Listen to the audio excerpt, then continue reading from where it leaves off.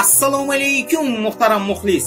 Siz bilan har doimgiday o'zining barcha uchun birdek qiziqarli va siz hali eshitgan u eshitmagan turfa ma'lumotlarıyla siz sevgan ardog'ingizdagi kanal turfa olam. Bugungi sondagi roligimiz orqali biz sizning e'tiboringizga gigantlik bo'yicha ginnisning rekordlar kitobiga kirgan jonivorlar haqidagi hali aytilgan u aytilmagan ma'lumotlarni taqdim etamiz. Marhamat tomosha qiling. Amerikaning Michigan shtati tarkibiga kiruvchi Atsego okrugida Zeus laqabli nemis iti bo'lib, u qatorasiga 2 yil, ya'ni 2012 va 2013 yillarda sayyoramizdagi eng baland it nomi bilan Guinnessning rekordlar kitobiga kirgan. Sababi, ikki orqa oyog'ida turganda Zeusning bo'yining balandligi 2 metrdan oshar ekan. Og'irligi 70 kilogramdan ortiq bo'lgan Zeusga uning sohiblari, aniqrog'i xo'jayinlari, terapevt it deb sertifikat ham olib berishgan. Unga ko'ra, ya'ni sertifikatga ko'ra Zevs laqabli nemis iti o'z mijozlarini tizzasiga boshini qo'yib, ulardagi stress holatini yengishga yordam berar ekan. Bundan shunday xulosaga kelish mumkinki, Zevs o'zini o'zi bemalol ta'minlay olgan. Uni 2014-yilning 3-sentyabr kuni 6 yoshga to'lishiga 3 kun qolganda o'lganini eslatib, navbatdagi gigant jonivor haqidagi faktga yuzlanamiz. Darius laqabli quyon bugungi kunda dunyodagi eng gigant quyon hisoblanadi. Uning xo'jayini 63 yoshli Annette Edwardsning aytishiga qaraganda, Dariusni boqish unga yiliga tasavvur qiling 5000 funt sterlingga tushar ekan. Quyoncha Dariusning uzunligi 1 metr 30 santimetrni, og'irligi esa 22,5 kilogrammni tashkil qilishini inobatga oladigan bo'lsak, uni boqayotgan Anet xonimning gaplariga hech ikkilanmasdan ishonish mumkin bo'ladi. Aslida, quyonlarning kontinental giant turiga mansub bo'lgan Dariusni Jeff laqabli zurriyodi ham bo'lib, uni qorni to'yishi uchun 1 yilda 2000 ta sabzi va 700 dan ortiq olma kerak bo'lar ekan. Gigant quyonlar sohibasi sanalgan Anet xonimga qo'shtirnoq ichidagi jajji quyonchalarni boqishida Geraklniki singari kuch-quvvat tilagan holda keyingi ma'lumotga o'tamiz.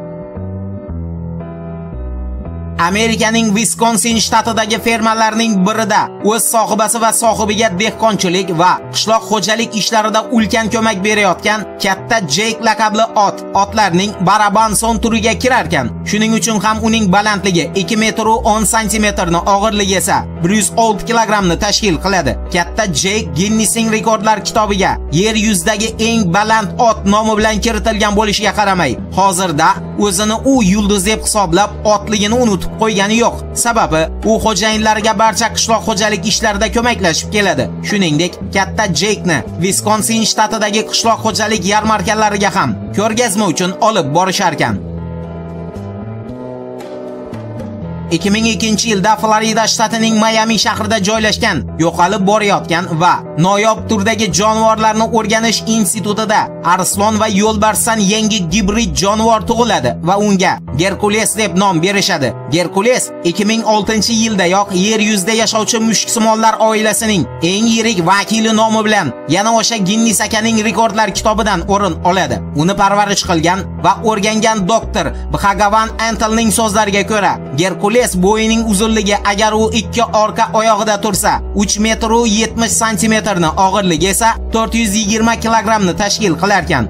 Qolaversa, eng qizig'i shuki, Gerkules o'zi singari boshqa mushuksimonlar vakillariday tez harakat qila oladi. Uning maksimal tezligi esa o'sha 2006-yilda soatiga 80 kilometrni tashkil qilgani so'zimizga yaqqol isbot bo'la oladi bizningcha. 2010-yilning yanvar oyida Gerkulesni Janubiy Karolina shtatining Myrtle Beach shahrida o'tkazilgan Freestyle Music Park tadbirlarida faol ishtirok etganini eslatib, so'nggi gigant haqidagi faktga o'tamiz.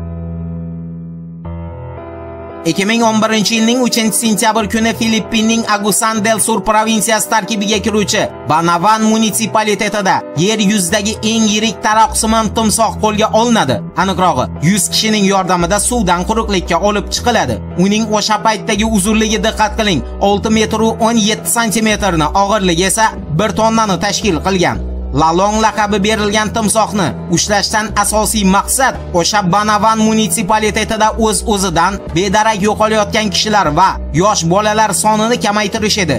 Aytishlariga qaraganda, eng yirik timsoh Lalong odamlarni o'lja sifatida qabul qilgan va bir necha kishiga hujum qilib, ulardan kundalik oziq-ovqat sifatida foydalangan. Tushunadigan qilib aytganda, odam yegan. Odamxo'r timsoh Lalongni 2013-yilning 10-fevral kuni qo'lga olingan Banavan munitsipalitetida o'lganini aniq ma'lumot o'rnida taqdim qilib, roligimizga xotima yasaymiz. Umid qilamizki, rolik orqali siz uchun faqat yangi va kerakli ma'lumotlar taqdim qila oldik. Turfa olamdan yiroqlashmang. Siz umuman kutmagan qiziqarli ma'lumotlar hali oldinda.